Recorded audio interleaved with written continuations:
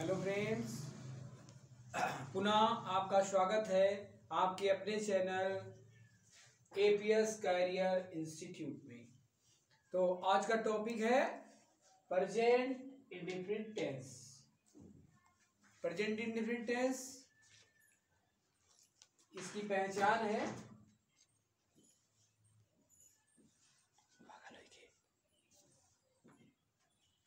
वाक्य के अंत में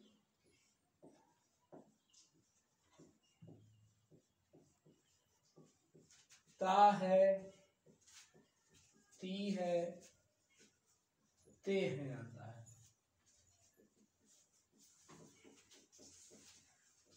तो किसी भी टेंस को सॉल्व करने के लिए, उसका अनुवाद करने के लिए हमें सबसे ज़्यादा ज़रूरी होती है उसकी पहचान। तो आप लोगों को पहचान के बारे में तो मैंने पहले वीडियो में बताया है कि अगर प्रेजेंट है तो है रहेगा पास्ट है तो या ये था थी थे आएगा और फ्यूचर है तो गागी गे आएगा। तो टेंस को हमें उसका अनुवाद करने के लिए सबसे पहली ज़रूरत है कि उसको पहचानना और पहचानने के बाद उसका अनुवाद करना। अनुवाद करने के लिए हमको उसका सूत्र मालूम होना चाहिए। जैसा कि प्रेजेंट इंडिफिनिट टेंस में रूल है रूल्स नंबर वन, जब हमारा कर्ता जब हमारा कर्ता एक वचन का हो, एक वचन का हो तो क्रिया में एस एस जोड़ देते हैं। क्रिया में एस या ई, एस जोड़ देते हैं।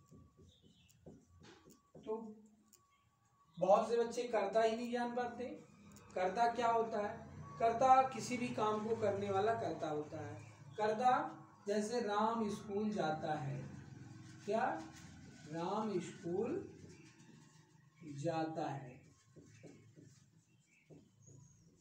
ठीक है।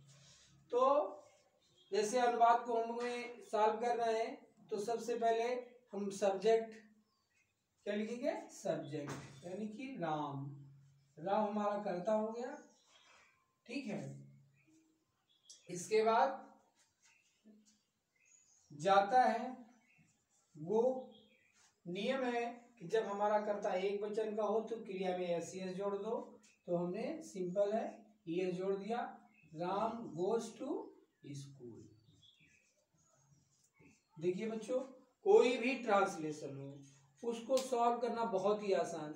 आप नहीं तो रूल्स नहीं समझोगे तो ऐसे तीन में पढ़े, चार में, पाँच में पढ़े, छह में पढ़े, आठ, नौ, दस ऐसे पढ़ते चले जाओगे और बोलते चले जाओगे। एक बार अच्छे से पढ़ लो, फिर आपको भूलने की ज़रूरत नहीं, कोई भी ट्रांसलेशन हो, बहुत अच्छे से आप उसको सॉल्व कर सकते हैं। तो Ram goes to school Ram school जाता है। ठीक है? ये आपका दूसरा हमारा, जैसे वे स्कूल जाते हैं।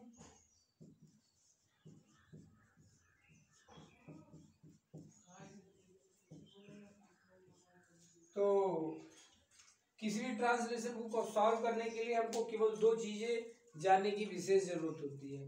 पहली चीज़ क्रिया, ठीक है, और हेल्पिंग वर्ड क्रिया में क्या परिवर्तन हो रहा है? ठीक, और उसमें हेल्पिंग वर्ब क्या लग रहा है? तो अब देखिए दे। दे मीन्स वे, जाते हैं गो नियम है कि जब हमारा कर्ता एक वचन का हो, तब क्रिया में एस जोड़ो। क्योंकि कर्ता बहुवचन का है, इसीलिए क्रिया में एस नहीं जुड़ेगा। दे गो टू स्कूल और इसी का हमें निगेटिव बनाना है। तो हम निगेटिव बना सकते हैं। राम स्कूल जाता है, ठीक है? राम गोज टू स्कूल हो गया। राम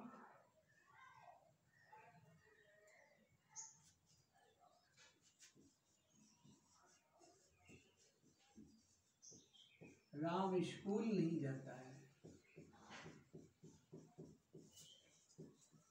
अभी आपका निगेटिव आ गया। निगेटिव में अभी हमने बताया कि सूत्र अगर आपको याद है तो आप कोई भी ट्रांसलेशन बहुत अच्छे से कर सकते हो। तो राम, अब इसमें पहले कर्ता कर्ता के बाद सहायक क्रिया। जैसे मैंने बताया कि आपको सहायक क्रिया और क्रिया में परिवर्तन अगर मालूम है, कोई भी ट्रांसलेशन कर सकते हैं। तो निगेटिव में हम करता एक वचन का है, तब डज नॉट का प्रयोग करेंगे। क्या करेंगे? डज नॉट का। राम डज नॉट ठीक है? अब क्रिया।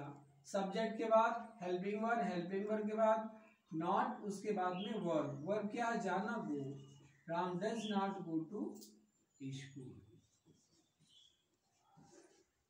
ठीक है? और ऐसे हमारा इंट्रोगेटिव आ गया।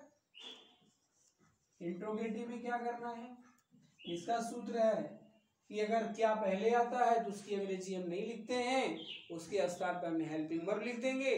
फिर करता, ऐसे हमको करना है। देखिए क्या राम स्कूल जाता है।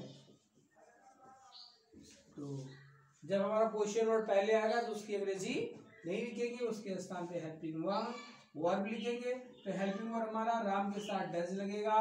तो does Ram go to school. Question mark तो सबसे मेन रोल होता है फार्मूला का। फार्मूला अगर हमको याद है, कोई भी ट्रांसलेशन हम कर सकते हैं। इसका फार्मूला है सब्जेक्ट वर्ब वर्ब में एस सी आई एस जुड़ेगा। ऑब्जेक्ट देखिए। और ऐसे ही इसका फार्मूला है subject plus helping verb helping verb के साथ में नॉट और फिर वर्ब और फिर ऑब्जेक्ट इसका है पहले हेल्पिंग वर्ब जब क्या पहले आएगा तो हमें हेल्पिंग वर्ब लिखना पड़ेगा. Helping verb plus subject plus verb और प्लस ऑब्जेक्ट और क्वेश्चन मार्क। सीधा सा। अगर सूत्र मालूम है, उसी सूत्र पर आप अपना अंग्रेज़ी लिखते चले जाइए, आपका ट्रांसलेशन हो जाएगा। बहुत आराम से। तो बच्चों, आपने बहुत से ट्रांसलेशन किए भी होंगे। अब आपको मैं एक ऐसे ट्रांसलेशन बता रहा हूँ, जो आपको किताबों में भी नहीं मिलने वाले। तो जैसा आप देखिए, राम स्कूल जाता है अब ट्रांसलेशन आ जाता है। बहुत अच्छे ट्रांसलेशन हम आपको बताऊँगा, जो आपको किताबों में भी नहीं वाले जैसे राम स्कूल जाता तो है। राम स्कूल जाता तो अब देखिए, अगर ऐसे शब्द आते हैं, राम स्कूल जाता तो है तो ऐसे में डू टू डस टू का प्रयोग किया जाता है। ठीक है? Ram does to go to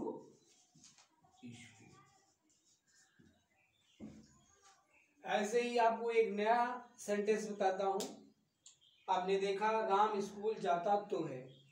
अब ऐसे में एक नया सेंटेंस है, राम स्कूल जाया करता है राम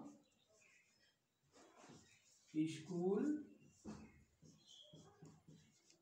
जाया करता है। ज़्यादा ठीक है? तो ऐसे में हम यूज़ टू का प्रयोग करेंगे। ऐसे में Ram uses to go to ये बहुत डिफरेंट टाइप्स ऑफ़ से सेंटेंसेस हैं। ठीक है? ध्यान से देखेंगे आप तो अद्भुत नॉलेज आपको हो जाएगा। आपने देखा, राम स्कूल जाता तो है, राम स्कूल जाया करता है। ठीक है? अब आपको एक नया सेंटेंस बता रहा हूँ। बहुत ही अच्छा। राम को स्कूल जाना पड़ता है। राम को स्कूल जाना पड़ता है तो जहाँ पर ऐसी कंडीशन है कि जहाँ पर हमारी बाध्यताएँ सामने आती हैं तो वहाँ पर हैज़ टू हैव टू का प्रयोग किया जाएगा। Ram has to go to school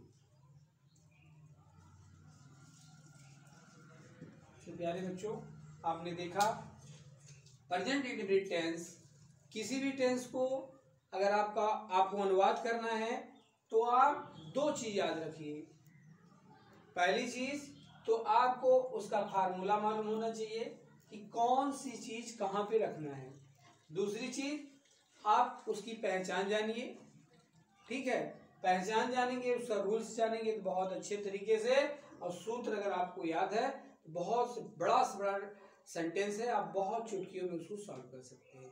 तो केवल और केवल दो चीज़ पे हमको फोकस करना है, एक वर्ड में चेंजिंग और हेल्पिंग सीधा सा, आप बड़ा सा बड़ा ट्रांसलेशन आपको सॉल्व करने के लिए मैं अन्य वीडियोस में भी बताऊँगा। Thank you